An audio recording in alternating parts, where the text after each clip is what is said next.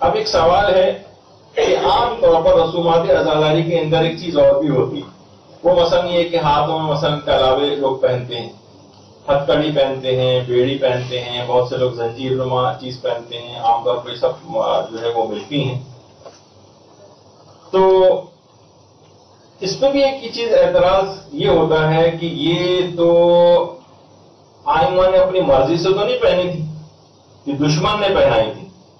ظالموں نے کیونکہ پہنائی تھی، تو لہٰذا یہ ظالموں کی سنت ہے۔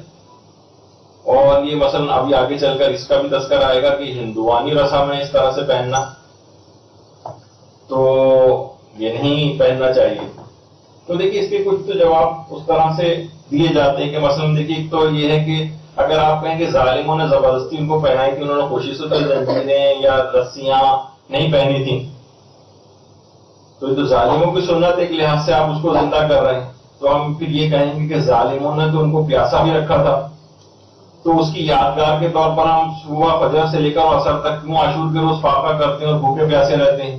کہ بھوکا پیاسا رکھنا تو ظالموں کا فیل تھا نا۔ تو یہ ہم خود سے کیوں کرنا شروع کر دیا ہم؟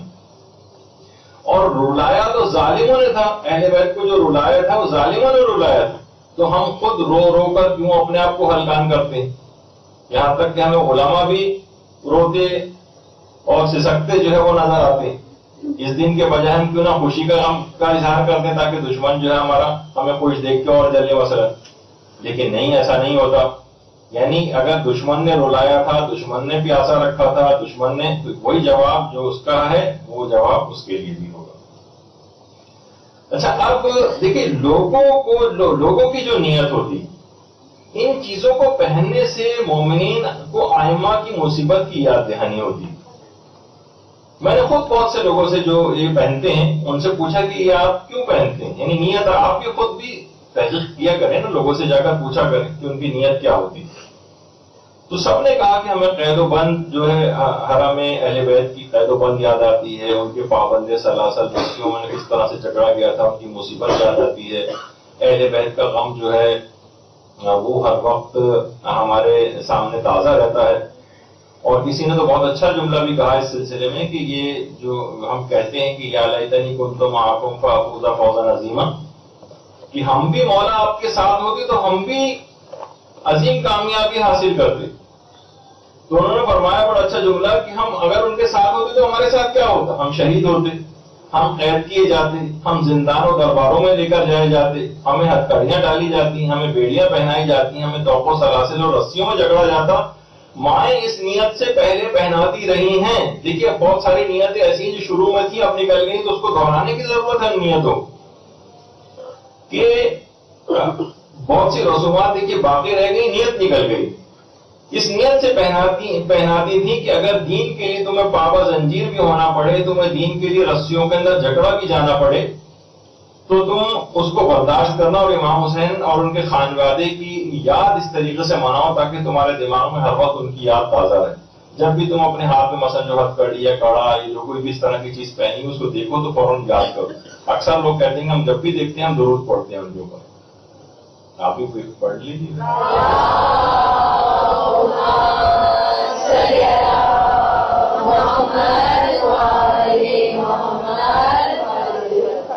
تو زبردستی لوگوں نے اگرچہ ان کو پہنائی تھی، لیکن اب ہم احتجاج کے طور پر بھی پہنتے ہیں۔ احتجاج کے طور پر پہنتے ہیں۔ آپ نے دیکھا ہوگا کہ جو لوگ بھی یہ پہنتے ہیں مثلا اسکول جاتے ہیں کالجز جاتے ہیں، اپنے جاب کی جگہوں پہ جاتے ہیں۔ ہر شخص پوچھتا ہے کہ کیوں پہنا ہوا ہے تم؟ غیر شیعہ بھی اس سے پوچھتے ہیں۔ اب آپ کے پاس بہت اچھا اور نادر اور نایاب موقع ہوتا ہے کہ آپ اہل بیت کے مظالم جو ان پر کیے گئے وہ بتائیں آپ اور فوراً دماغ میں اس کے سوال اٹھے گا اچھا کس نے ان کو جو ہے شہید کیا؟ پورے حالات کیا تھے؟ اس کی طرف جائے گا تو اس اصل ظالموں تک پہنچ جائے گا۔ تو یہ جو چیزیں ہر وقت آپ کے پاس کچھ رسوم و رواج کے طور پر بہت کسی نے سوچ سمجھ کے چیزوں کا ایسا رائج کیا ہے کہ جس سے باطل ہمیشہ اشکار ہوتا رہے اور حق ہمیشہ ہر لحاظ سے ظاہر ہوتا رہے۔ مثلا اگر آپ رو بھی رہے ہوں گے یا دل کے اندر بھی غمگین ہوں گے تو دوسرے کو پتہ نہیں چلے گا کہ امام حسین پہ کیا ظلم ہوا۔ سوائے اس کے کوئی ایسی علامتیں وہ دیکھے کہ وہ آپ سے سوال کرے کہ یہ تم نے ایسا کیوں کیا ہوا اور ویسا کیوں؟ آپ کے رسومات ازاداری کا ہر شخص بار بار سوال کرتا ہے کہ تم لوگ ایسا کیوں کرتے ہو؟ اب آپ کی ایک کمی ہے کہ آپ کے پاس دلائل نہیں ہوتے، یا آپ نے اپنے آپ کو پریپیئر نہیں کیا ہوا اس کے لیے ورنہ آپ اپنے پاس، جیسے آپ کوئی کہے منہ پہ تماچے کیوں مارتے ہو، فوراً حضرت عائشہ کا اگر آپ پیش کرتے کتاب کا حوالے دیکھیں تو دوسرا بھی وہ ہو جائے گا کہ ہاں ان کے پاس کوئی دلیل موجود ہے۔ اب آپ یہ کہیں گے دوسرے کیونکہ اعتراض کر رہے ہیں تو لہٰذا مجھے اس کو بند کر دینا چاہیے۔ تو یہ آپ کی کمی ہے، آپ کا اپنا علمی طور پر آپ نے اپنے اندر ایک کمی کو برداشت کیا ہوا ہے، ورنہ اصلا ایسی بات نہیں۔ اچھا آپ لوگ یہ کہتے ہیں کہ بھائی اگر امام کو اپنے طور پر اس کا اختیار ہوتا تو کبھی بھی ان چیزوں کو نہیں پہنتے۔ آپ نے تو اختیارن پہنی ہوئی ظالموں نے ان کو زبردستی پہنائی تھی مثلا۔ تو ایسی بات نہیں، آئمہ کے خود کتنے اصاب تھے، باقاعدہ وسیعت کر کے گئے تھے کہ ہمیں ان کی ہتکڑیوں بیڑیوں اور توقع سلاسل اور زنجیروں کے ساتھ دفن کیا جائے اور ہمارے جسم سے ان کو الگ نہ کیا جائے۔ حجر ابن عدی۔ حجر ابن عدی جن کا شام میں مقبرہ بھی ہے اور کچھ ہی عرصے پہلے جب داعش وقت کا وہاں پر قبضہ تھا تو داعش والوں نے باقاعدہ ان کے روزے کو پورا ڈھا دیا تھا اور ساری جو زری ہے وہ توڑ پھوڑ دی تھی اور باقاعدہ قبر کھود کر حجر ابن عدی کا جسم بھی وہاں سے نکال کر لے جانا چاہ رہے تھے اور اس کے بعد ایک فیک ایک تصویر جو ہے وہ انٹرنیٹ پہ گردش کی کہ انہوں نے جو ہے مثلا حضرت حجر ابن عدی کا جسم ظاہر ہو گیا تھا، لیکن وہ سب جھوٹی خبر تھی۔ اور یہ بھی تصویر جو جھوٹی پھیلائی گئی تھی، خود جو وہاں کے متولی ہیں، ان کے روزے کے حجر ابن عدی کے۔ انہوں نے باقاعدہ یہ بات کہی کہ وہ لوگ مسلسل کھدائی کرتے رہے، لیکن حضور کا جسم کہیں بھی نیچے سے ظاہر نہیں ہوا۔ تو اس کے بعد، بہرحال، وہ تمام ظالم افراد کے جنہوں نے قبر کی کھدائی کی تھی، وہ سب کے سب فاصل جہنم ہوئے اور باقاعدہ ان کی گردنیں کاٹ کے جو ہے وہ الگ کی گئے اس دنیا کے اندر بھی اپنے اس انجام تک پہنچے۔ تو مجھے اپنے عدی کو جب حاکم شام نے زنجیریں پہنا کر دمش بلوا کر قتل کیا، تو حجور نے ایک وسیعت کی۔ وسیعت کیا تھی؟ حجور نے وسیعت کی، باقاعدہ کنز العمال کے اندر بھی ہے اسد الغابہ کے اندر بھی ہے، اہل سنت کی کتابوں کے اندر ہے کہ لا تطلقوا انی حدیدن۔ دیکھو، میری جو جتنے بھی ہتکڑیاں بیڑیاں، جو لوہا اور زنجیریں سب مجھے پہنائی گئی ہیں، ہرگز مجھ سے جدا نہ کرنا ولا تقسلوا انی دمان اور میرے جسم سے خون کو بھی صاف نہ کرنا میں اسی حالت میں جو ہے، وہ حاکم شام معاویہ کے ساتھ ملاقات کروں گا اور باقاعدہ اس کے ساتھ جدال کروں گا کہ یعنی مجھے اس طریقے سے بے گناہ جو ہے وہ کیوں، اور اس نے جو ہے قتل کیا ہے اور اتنا ظلم کیوں کیا ہے۔ تو کیوں منع کر رہے ہیں کہ بھائی یہ تو ظالم نے پہنائی ہے نا آپ کو؟ ظالم نے پہنائی ہے، پھر آپ کیوں کہہ رہے ہیں کہ میرے جسم سے لوہے کو جدا نہ کرنا؟ اور میں حاکم شام سے اس طرح سے، تو یہ احتجاج کے کا ایک طریقہ ہے باقاعدہ، احتجاج کا۔ آج کا مومن اگر یہ ہوتا، تو یہ اعتراض کرتا ہے، حضور جب آپ آپ کو یہ وصیت کرنے کی کیا ضرورت تھی؟ تو ظالموں کی سنت تھی کہ وہ انہوں نے آپ کو پہنائی ہوئی تھی، تو آپ اور اس کو پہنے رہنے پر مؤثر ہے تو یہ کہا جائے گا کہ حضور نے احتجاج کیا اور اسی احتجاج کو آج لوگ کڑا پہن کر، زنجیر پہن کر یا اس طرح سے کوئی بھی چیز پہن کر اس کو ظاہر کرتے ہیں۔ اپنا احتجاج جو ہے وہ ریکارڈ کرواتے ہیں۔ یعنی ایک طریقہ احتجاج ہے۔ طریقہ احتجاج۔ کیونکہ جب بھی کوئی شخص یہ پہنتا ہے تو فوراً اس کا یہ عمل غیروں کو مساحب امام حسین کی طرف متوجہ کرتا ہے۔ جیسے میں نے ابھی کہا، اسکول، کالج، یونیورسٹی، جاب کی جگہ ہر جگہ کوئی بھی دوست، احباب آپ کا ہوگا، آپ سے سوال ضرور کرے گا کہ یہ تم نے ہاتھ میں کیوں پہنا ہوا ہے؟ اب آپ کے پاس بہت گولڈن چانس ہوتا ہے کہ اس کو اہل بیت کی مسائل بتائیں، اس کو تاریخ بتائیں تاکہ اس کا دماغ کچھ سوچنے پر مجبور ہو۔ اور جن چیزوں کو اور ہستیوں کو اس نے اپنے نزدیک مقدس بنایا ہوا ہے، اس میں کچھ دراڑ اس کے آ سکے اور یہی وجہ ہے کہ پوری دنیا کے آپ ترکی کے اندر دیکھیں۔ ترکی کے اندر جو عورتیں ہیں، پچھلی دفعہ بھی آپ کو تصویر دکھائی تھی کہ ہاتھوں میں زنجیریں پہنتی آپ ان سے کہا جائے کہ بھائی، آپ کیوں پہن رہے ہیں؟ یہ تو بدت ہے اور یہ تو ظالموں نے ان کو پہنائی تھی تو زبردستی پہنائی تھی تو آپ کیا ظالموں کی سنت زندہ کر رہے ہیں؟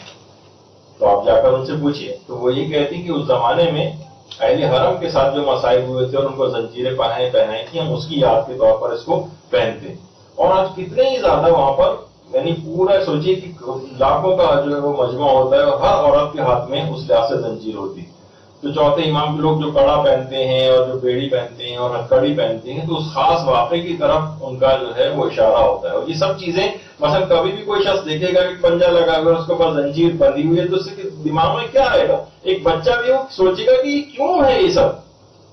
یہ بہت اچھا موقع ہے کہ اس کے دماغ میں سوال پیدا ہو اور سوال کا پھر اس کو جواب دیا جائے۔ ہر ہر دیکھنے والے کے دماغ میں سوال کا پیدا ہونا اور اس کا جواب دیا جانا یہ اس لحاظ سے ضروری ہے۔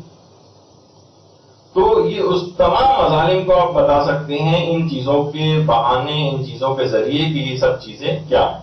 اور آج بھی کربل اور نجف جو واک ہو رہی ہے، اس میں کتنے ہی افراد ہاتھ پاؤں میں زنجیریں باندھ کر کتنی تصویر آپ انٹرنیٹ کے اوپر دیکھیں۔ کہ اس ظلم کا اظہار کرتے ہوئے کہ خاندان اہل بیت پہ کیسے مظالم ہوں، اس کا اظہار کرتے ہیں باقاعدہ۔ تو یہ سب چیزیں ایسی ہیں جس کو دیکھنا چاہیے۔ پھر اس کے بعد ایک اور تاریخ کے اندر ملتا ہے ایسا واقعہ کہ حسن مسنہ کے بیٹے جو علی تھے، جن حسن مسنہ کا عبد قاسم کے لحاظ سے تذکر آیا تھا اس دن انہی کے بیٹے۔ باقاعدہ مقادل الطالبین کے اندر روایت بھی ملتی ہے۔ کہ جب علی ابن حسن کو منصور نے تہخانے میں قید کیا، تو انہوں نے بھی مرتے دم تک لوہے کی زنجیریں اتارنے سے منع کر دیا۔ اور کہا تھا کہ ہرگز یہ ہتکڑیاں جو بیڑیاں مجھے پنائی گئی ہیں، مجھے ہرگز نہ اتارنا، میں اسی حالت میں اللہ کے حضور پیش ہوں گا اور منصور سے جو ہے، وہ میں پوچھوں گا کہ اس نے مجھے بے گناہ جو ہے، چیزیں کیوں پہنائی۔ تھی تو یہ علی ابن حسن مسنہ کی باقاعدہ وسیعت یہاں سے سوال کیا جائے علی ابن حسن مسنہ یہ تو ظالموں نے آپ کو پہنائی تھی۔ پھر آپ اس کو پہننے پر اصرار کیوں کر رہے ہیں؟ تو وہ کہیں گے کہ میں احتجاج کے طور پر یہ بات کر رہا ہوں۔ تو کوئی احتجاج کی ان کی سیرت پر آج لوگ عمل کرتے ہیں اور احتجاجن اس چیز کو پہنتے ہیں۔ اور زید شہید، ان کے بیٹے، جن کا نام یاہیا تھا جوز جان افغانستان میں باقاعدہ ان کا ایک مقبرہ۔ ہے عبد الرزاق المکرم نے ایک کتاب پوری لکھی ہے زید شہید پر، زید شہید کے حالات میں۔ اس میں انہوں نے لکھا ہے باقاعدہ کہ ان کی شہادت کے بعد ان کے لاشیں سے ہتکڑیاں اور بیڑیاں کھول کر الگ کی گئی تھیں ان کی شہادت کے بعد۔ تو شیعہ مومنین کی پوری جماعت نے لوہار سے جا کر بات کی اور کہا کہ تم یہ ہتکڑیاں بیڑیاں اور زنجیریں ہمیں فروخت کر دو۔ اور اتنی زیادہ لوگوں کی رغبت تھی ان کی ہتکڑیوں بیڑیوں اور زنجیروں کو خریدنے میں کہ باقاعدہ پھر سمجھے ایک لحاظ سے معذ اللہ اس کو کہنا نہیں چاہیے، جس طرح آپشن ہوتا ہے۔ اور باقاعدہ بیس ہزار درہم ان کی ہتکڑیوں اور بیڑیوں کی قیمت رہی تھی۔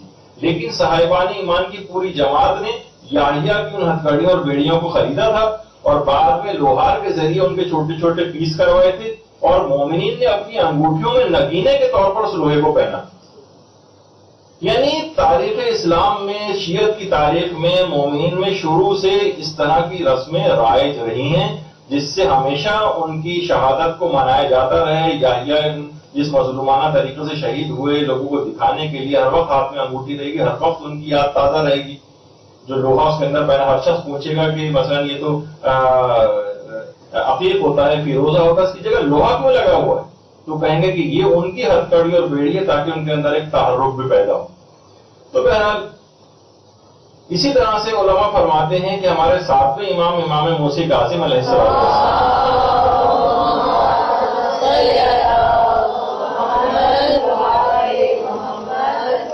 ان کی وسیعت کے مطابق باقاعدہ مستدرک الوسائل میں شیخ حسین نوری نے باقاعدہ چیز لکھی ہے۔ کہ امام کی وسیعت کے مطابق انہیں زنجیروں اور بیڑیوں کے ساتھ ہی دفن کیا گیا۔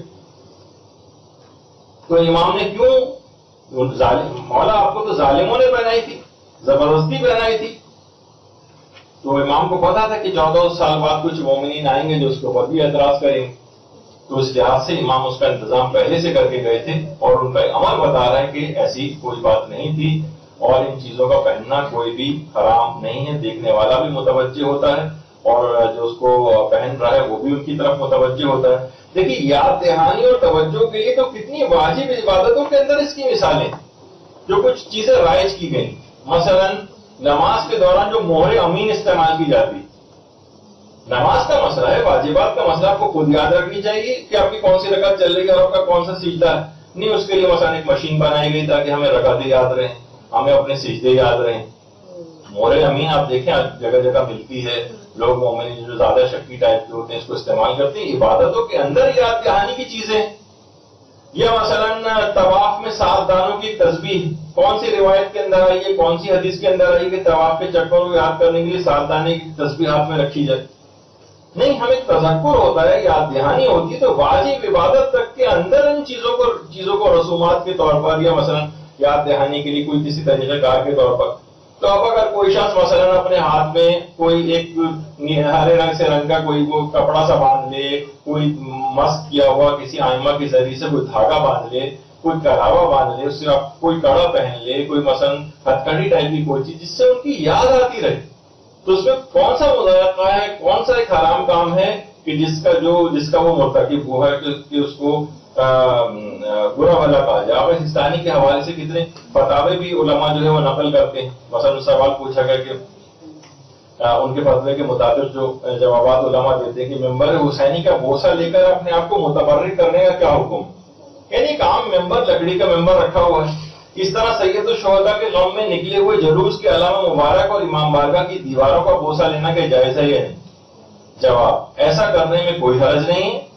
بلکہ ہر وہ چیز جس کی نسبت سید الشہدہ اور دیگر عامیہ معصومین کی طرف ہو، ان سے متبرک ہونے میں کوئی اشکال نہیں۔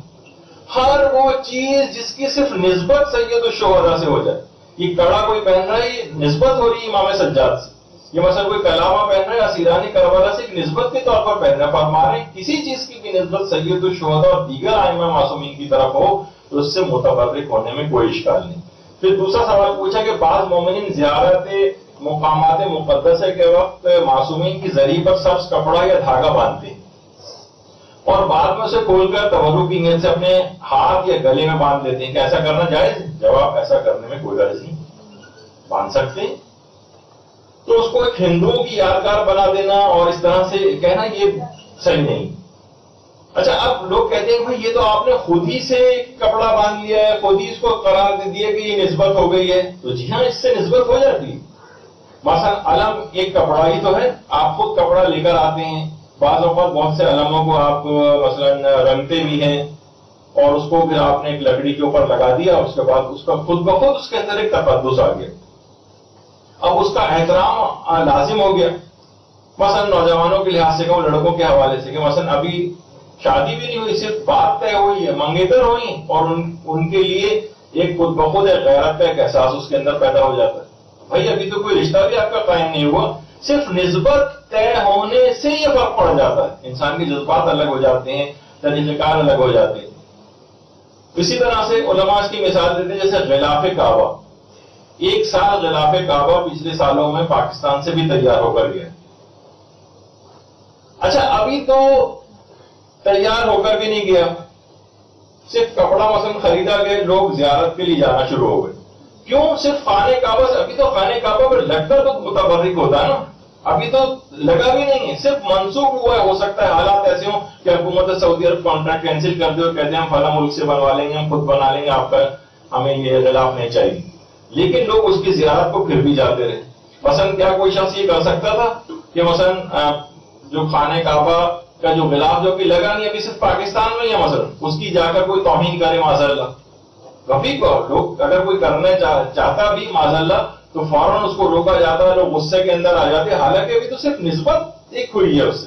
اور یہ کپڑا بھی ہم نے خود ہی خریدا ہے، کپڑا یہیں تیار کیا ابھی تو خانے کعبہ گیا بھی نہیں۔ ہاں اس کے بعد جب خانے کعبہ پر جاتا ہے اور خانے کعبہ کے اوپر لگ جاتا ہے، اب لوگ اسی کا تبرک ہو جاتا ہے۔ باقاعدہ آج کل تو لوگ کینچیاں لے کے جانے لگے ہیں۔ وہ غلط ہے، حرام ہے۔ وہ باقاعدہ ٹکڑے کاٹ کاٹ کے لے کے آتے ہیں وہاں سے۔ اور جو کہ صحیح نہیں ہے، دھاگے کاٹ کے لے کر آنے لگے ہیں وہاں سے حرام عمل تو بہرحال اب ایک احترام آ گیا اسی طریقے سے ہتکڑی بیڑی، کلاوا، اس طرح کی کوئی چیزیں ان کا خود بخود ایک احترام آ گیا۔ مثلا اگر مثال دوں گا آپ کو کہ اگر کوئی شخص یا مثلا جیسے کہ حضرت عباس سے منصوب ایک مشق ہوتی۔ ماض اللہ، یہ خود ہم نے بنائی ہے۔ صرف ایک نسبت ہی تو اس کو اٹھا کے ماض اللہ سما ماض اللہ، کوئی شخص نیچے توہین کے لحاظ سے نیچے پھینک دے اس کو۔ پٹا دے مثلا۔ تو ہر شخص ہر شیعہ غصے میں آ جائے گا۔ اور کہے گا کہ یہ آپ نے کیا توہین کی؟ حالانکہ وہ کہے گا بھائی توہین کیا؟ یہ کوئی حضرت عباس کی مشق تھوڑی یہ تو آپ نے خود ہی بنائی ہے، جا کے خرید کر لے کے آئے ہیں، پہلا دکان سے۔ بس آپ نے خود سے ہی نسبت دے دی۔ جی ہاں نسبت دینے سے متبرک ہو گئی۔ اور اتنی متبرک ہو گئی، کوئی شخص اس کی تو ورنہ کوئی اور اس طرح کا کوئی برتن رکھا ہوگا، کوئی نیچے پھینک دے کسی کی شکل کا مثلا۔ اور نسبت نہ دی گئی ہوتی۔ تو پھر یہ مثلا کوئی ایک ایسی طور پر کہ بھئی یہ پہلے زمانے مشقیں ایسی ہوتی تھیں اور یہ مشق اس کے بعد پھینک بھی دے تو کوئی پرواہ نہیں کرے گا۔ لیکن نسبت ہونے سے اتنی پرواہ کرنی پڑے گی۔ اچھا اسی طرح سے علماء، ایک بات اور، لوگ اس کے اوپر بھی اعتراض کرتے ہیں، کہ ابھی کچھ ہی عرصے پہلے مثلا لوگ انٹرنیٹ پہ ڈالنا شروع ہو جاتے ہیں کہ بھئی دیکھیے زلجانہ جو ہے وہ مر گیا۔ کسی یہ تو خیر ایک زلجانہ کو باقاعدہ گولی ماری گئی تھی، اس کی تصویر ہے جو ان لوگ لے کر جا رہے ہوتے ہیں اور یہ جو تکفیری عناصر ہیں، فرقہ واقع پھیلانے کے لحاظ سے۔ لیکن ایک تھا کہ واقعی جانور بھی جس طریقے سے مرتے ہیں، تو لوگوں نے زمین کھود کے اس کو باقاعدہ اس طرح دفن کرتے ہیں، ایسا دفن کرتے وقت کی تصویر۔ آپ پتہ ایک جگہوں پہ یہ تھا، کسی جگہ سننے میں آیا کہ نماز کفن دیا گیا اور نماز جنازہ پڑے گی یہ سب خرافات یہ حرام بھی ہے، یہ صرف مشروعیت، صرف مومن کے لیے۔ یہ کوئی کرے گا تو اسے آپ روکیں گے۔ لیکن لوگوں نے دفن کرنے پہ بھی اعتراض کیجیے بتائیے زلجنا کو دفن کیا جا رہا ہے۔ بھائی، اگر آپ دیکھیں تو یہ کل تک لوگ آپ کو ہنسیں گے۔ کیا پسند اگر آپ دفن نہیں کریں گے تو معذ اللہ سما معذ اللہ سے کہیں کوڑے کے ڈھیر پہ آپ پھینکیں گے جا کر، تاکہ پوری دنیا ہنسے۔ آپ آپ کے اوپر کہ دیکھیے، کل تک تو اس کو چومتے تھے اور ہاتھ لگاتے تھے اور متبرک سمجھتے تھے اور آج اس کا یہ حال کیا ہوا تو اور ویسے بھی تعفن پھیلتا ہے اور اور چیزیں ہوتی ہیں۔ تو باقاعدہ دفن کرنے کی حد تک وہ تو ان چیزوں کے اندر زلجنا وغیرہ کے اندر بھی خود بخود نسبت کی وجہ سے ایک تقدس آ جاتا ہے۔ تو یہ تمام چیزوں کو لوگوں کو سوچنا چاہیے۔ اسی طرح سے جس طریقے سے ذریعے امام حسین علیہ السلام جو ہے۔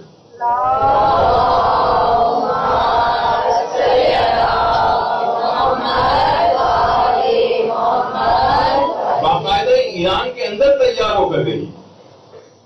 اور مکمل زری ایران میں تیار ہوئی اور ابھی گئی بھی نہیں تھی وہاں اور بے تحاشا لوگ، ہزاروں کی تعداد میں لوگ روزانہ آ رہے ہیں، بلکہ یہاں سے علامہ طالب جوہری صاحب قبلہ بھی وہاں پر گئے، اس کی زیارت کی، اس کے اندر ان کو جانے کا وہ پرمیشن ملی، وہاں جا کر انہوں نے نماز بھی پڑھی اور نماز پڑھنے کے علاوہ کہ میرا بھی اس میں کچھ ہاتھ ہو جائے، تھوڑا سا وہاں پر کچھ کام بھی کیا کہ اس ذریعے امام حسین میں میری بھی کوئی محنت اس کے اندر لگ جائے، تھوڑا سا تاکہ کھاد انہوں نے اس کے اندر لگایا تبرک کے طور حاصل کرنے کے لیے اس سے۔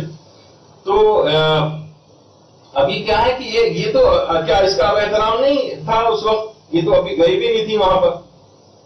اور اس کے بعد پھر اس کو لوگ اس کی زیارت کو، وہیں پر ایران میں اس کی زیارت کو آتے رہے ذریعے۔ اور اس کے بعد پھر جب اس کو باقاعدہ کنٹینرز کے اندر جو ہے وہ جہاز میں لے جایا جانے والا تھا، تو اس کے ساتھ ساتھ بھی لوگ اسی طریقے سے ساتھ چل رہے تھے۔ جیسے حقیقی زری کا اس طریقے سے ایک احترام ہوتا ہے اور اس کے بعد وہی آج زری وہاں پر آپ دیکھتے ہیں امام حسین علیہ السلام والسلام، ان کی